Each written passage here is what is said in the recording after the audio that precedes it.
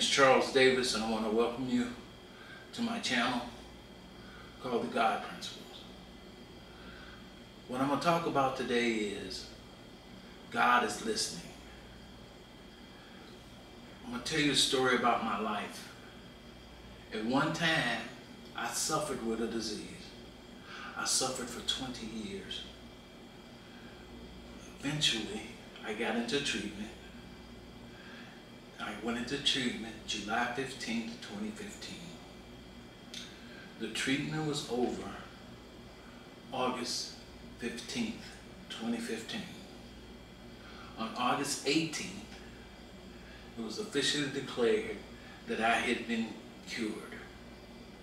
So I'm sitting there in my room and I'm talking to God, just like I'm talking to you. I say, God, I want to thank you for relieving me of this disease. But I say, God, if this is truly your will for my life, it would be nice to have a little celebration. You know, I don't want much. A nice breakfast, bacon, eggs, sausage, pancakes, milk, coffee, orange juice. I laid out a whole big spread. Now realize I'm in a facility where you go to the cafeteria and they have already pre pre-planned your meal. But on this day, it's like, okay, I know how I talk to God. I say, God is listening. But I also had a special request. I was scheduled to do kitchen detail. I was supposed to wash all the dishes for three days. I had done one day already. And I asked God, I said, it would be really be nice if I didn't have to do kitchen detail just for that day, August 18th. Somebody knocked on my door and said, Charles, you need to come on, the kitchen is about to close. In my mind, I'm thinking, okay, people that come in last just have to accept leftovers.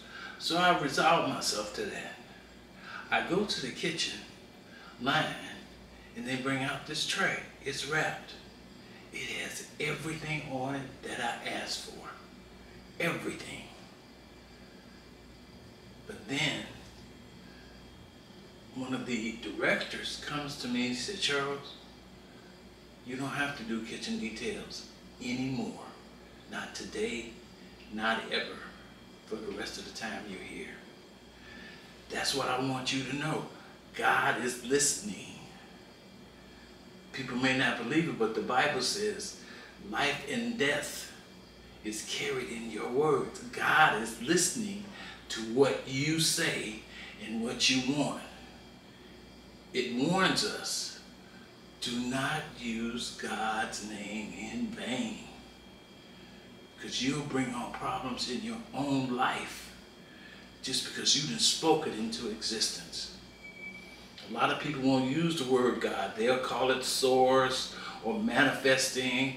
There's some truth to that, I suppose. But God is listening. He's listening to you.